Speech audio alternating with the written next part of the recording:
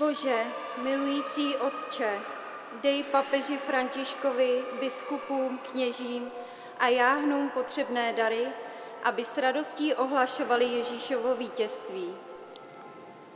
Kyrie, Kyrie, eleison. Žehnej Bože nově pokřtěným a dej, ať je církevní obce přijmou do svého středu. Kyrie, Kyrie, eleison. Nepřestávej vysvobozovat stále nové lidi z otroctví hříchů a uvádí je do svobody svých dětí. Kyrie,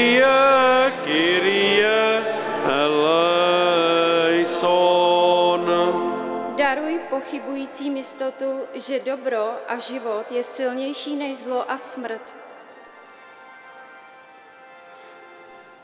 Kyrie, Kyrie, eleison.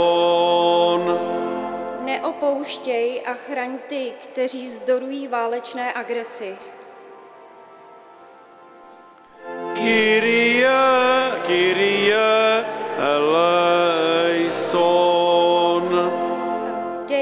pro vítězství tvého syna všem národům mír a svornost, zejména na Ukrajině a ve svaté zemi.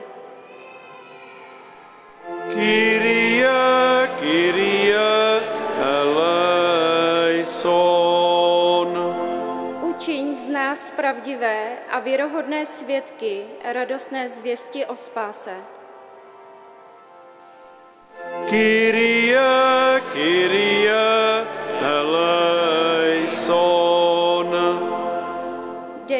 ať se promění utrpení trpících a nemocných v radost a zemřelé přijmi k sobě.